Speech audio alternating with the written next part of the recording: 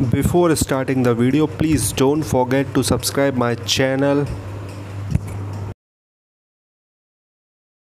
बात जी हम करेंगे आज मोहम्मद बिन सलमान की जिनको एमबीएस भी कहा जाता है और ये सऊदी अरब के क्राउन प्रिंस हैं ये सब तो आप लोग जानते हैं ये सारी बात तो कुछ दिन पहले इन्होंने एक अपना एक इंटरव्यू दिया एक स्टेटमेंट दिया जिसमें उन्होंने कहा कि इस्लाम को रिफॉर्म करने की ज़रूरत है उसमें कुछ हदीसें ऐसी हैं यानी जो प्रॉफिट की सेंग्स बताई जाती हैं उसके ऊपर वो बहुत ज़्यादा कॉन्फिडेंट नहीं है और उनको ऐसा लगता है कि उन हदीसों को हटा देना चाहिए। बिल्कुल आ, मैं उनकी बात से बिल्कुल एग्री करती हूँ कि इस्लाम में आ, इस्लाम एज अ रिलीजन उसमें बहुत सारी बातें ऐसी हैं जिनको के हमें दोबारा से देखने की ज़रूरत है, जिनको हमें रिफॉर्म करने की ज़रूरत है और जिनके ऊपर हमें सोचना चाहिए और उनमें से बहुत सी चीज़ें ऐसी हैं, जैसे कि उन्होंने कहा कि हदीसें ऐसी हैं जो हदीस के ऊपर बात होती है कि जी प्रॉफिट ने ये कहा प्रॉफिट ने वो कहा। उसमें बहुत कुछ जो है वो अपनी तरफ़ से गढ़ी हुई बातें, अपनी तरफ़ से, जैसे अपनी तरफ़ से बनाई हुई बातें हैं।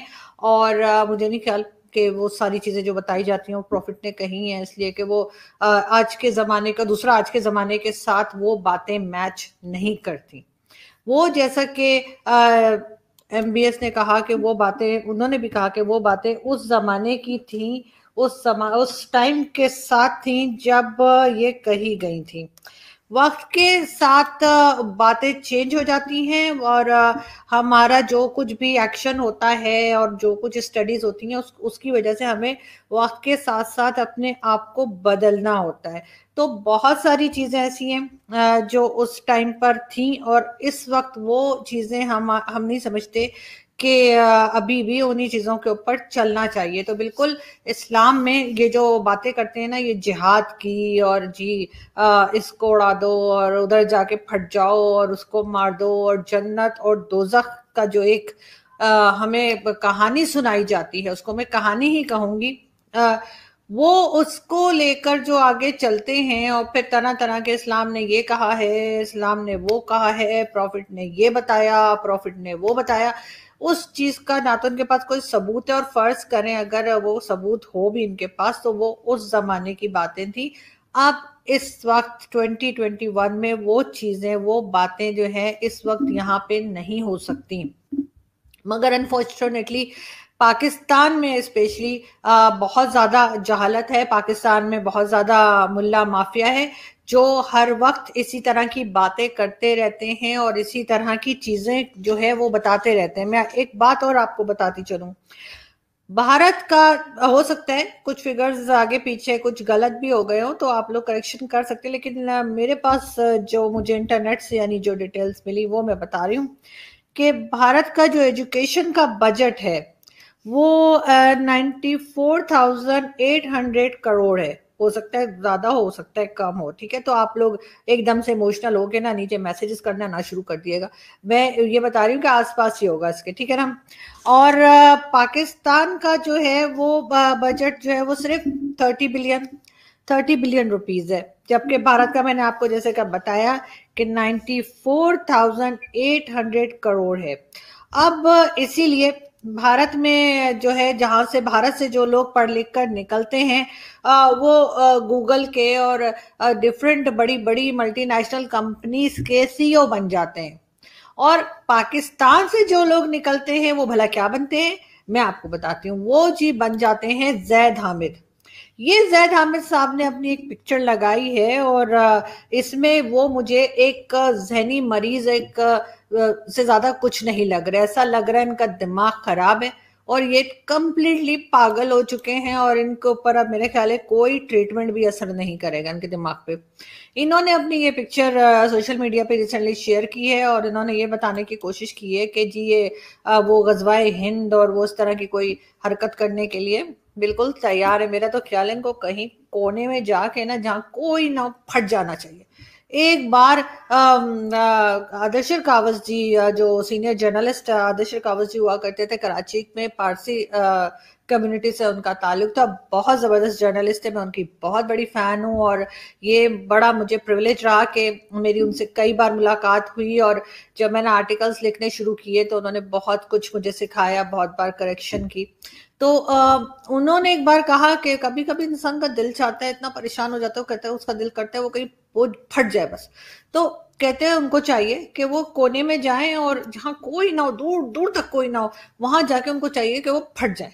लेकिन दूसरों को साथ लेके फटने का जो तरीका है, वो बहुत गलत है।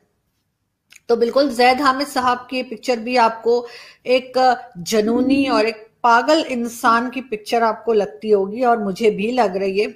इस तरह के जनूनी और पागल जो हैं, वो पाकिस्तान में भरे पड़े हैं। मतलब आप एक ढूंढे आपको हज़ार मिलेंगे।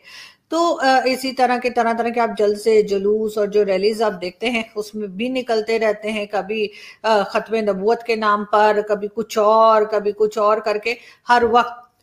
पाकिस्तान को चाहिए कि पाकिस्तान वही करे जो सऊदी अरब और उसके साथ यूएई करते हैं। यानी यूएई में आपने देखा ही होगा यूनाइटेड अरब एमिरेट्स में, कि वहाँ पर और सऊदी अरब में भी ये है, कायदा है कि जी तो दोस्तों, ये वीडियो यहाँ पर होता है ख़त्म। आप यहाँ से ये वीडियो छोड़कर जा सकते हैं।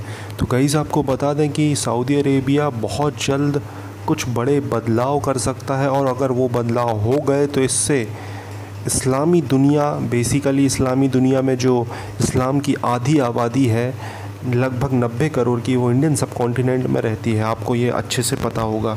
तो यहाँ पर क्या रिएक्शन आएगा, वो देखना बनता है।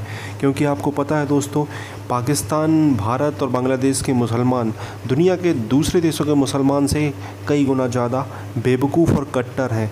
यहाँ पर इस तरीके की हरकत हो जाती है। अगर मतलब वो सर तन से जुदा और वो जवाने भर के जो डायलॉग हैं, वो निकल जाते हैं लोग कह के। स्पेशली पाकिस्तान तो ऐसा देश है कि वो कोई भी चीज़ कहीं पर भी हो, वो अपने देश को ही जलाने लगते हैं बेवकूफ़। और इंडिया में भी इस तरीके के लोग हैं, क्योंकि आपको भी पता है, हैं तो यहीं के सारे। तो बांग्लादेश में भी ये चीज़ें होती हैं। तो सारे लोग एक ही तरह का वो सिस्टम फॉलो करते हैं।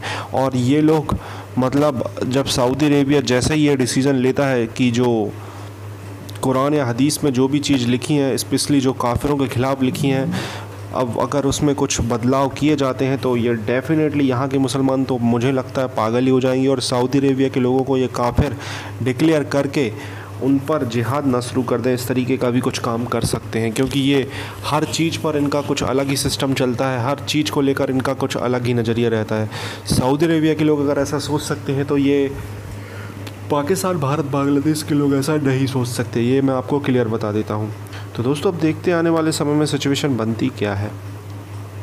अभी तो ऐसा लग रहा है कि सऊदी अरेबिया जिस तरीके से विज़न 2030 की ओर बढ़ रहा है, वो ऐसे बदलाव कर देगा। उसने अपने सिलेबस में रामायण, महाभारत जैसी चीज़ें ऐड की, उस पर यहाँ के लोगों का ऐसा रिएक्शन आया था, उन्होंने बोल दिया था कि ये लोग मूर्ति पूजक बन जाएँगे, काफिर बन जाएँगे, हिंदुओं का मंदिर बना रहे हैं, फलाना ठिकाना, इस तरीके की बातें की थी।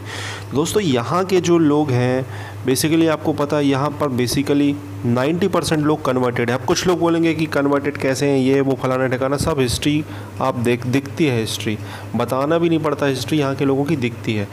यहाँ पर लगभग नब्बे करोड़ लोग बसते हैं इंडियन सब कॉन्टिनेंट में। मुसलम मुस्लिम आबादी की बात कर रहा हूँ मैं तो ये आबादी दुनिया के सारे मुसलमान देशों से भी ज़्यादा है। तो आप समझ सकते हो, ये कन्वर्टेड लोग जो ओरिजिनल हैं, उनसे ज़्यादा मुस्लिम बनने की कोशिश करते हैं और ऐसा कुछ रिएक्शन करते ही हैं, ये दिखाते हैं कि हम बहुत बड़े मुस्लिम हैं। तो उस चक्कर में ये लोग कुछ ज़्यादा ही कट्टर बन चुके हैं। हालाँकि सऊदी अरेबिया में इतना कट्टर अभी तो नहीं दिख रहा है, लेकिन लोग कहते हैं कि सऊदी अरेबिया ने ही यहाँ के देशों को मतलब इंडियन सबको फंड कर करके कट्टर बनाया है वहाविज़म फैलाया है। तो अब देखते हैं दोस्तों, आने वाले समय में सिचुएशन और क्या बनती है। अभी तो फ़िलहाल ऐसा दिख रहा है कि सऊदी अरेबिया बहुत ही ज़्यादा लिबरल होता जा रहा है और आने वाले समय में बहुत ज़्यादा ऐसे कुछ बदलाव कर सकता है। तो अभी इस न्यूज़ का तो पाकिस्तानी मीडिया में कुछ खास रिएक्शन नहीं आया है। आरज़ू काजमी है जो कि वैसे भी लिबरल हैं और इस तरीके की बातें करती हैं और लगता है कि इनकी जान को कुछ खतरा ना हो जाए। पाकिस्तान जैसे देश में बैठकर वो इस तरीके की बातें कर रही हैं। तो दोस्तों, ये वीडियो यहाँ पर होता है ख़त्म। आपको ये वीडियो कैसे लगा प्लीज़ कमेंट बॉक्स में लिखें, चैनल को सब्सक्राइब करें, वीडियो को लाइक करें।